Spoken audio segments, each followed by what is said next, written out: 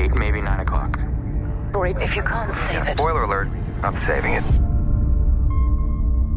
Waiting for us on Mars is the answer to that question that we've all had when you lie on your back looking at the sky on a clear night. I see it. As to whether or not you're looking at a jungle or a desert. What the inhabitants of that jungle are is the question. The film opens with them trying to recover this capsule that contains what might be the first signs of life. Mars is the object of our fascination because about 4 billion years ago, the conditions were very similar to the conditions on Earth. Lowering oxygen, more carbon dioxide. What exactly are you hoping for? I'm hoping to wake him up.